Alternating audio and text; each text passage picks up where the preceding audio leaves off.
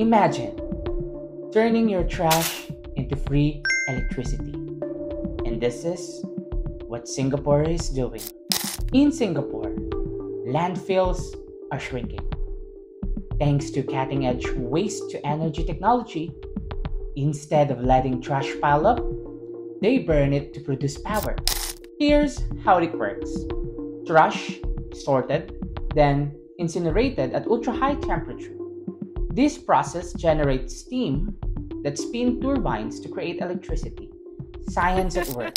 Singapore produces enough energy from waste to power over 1,000 homes daily.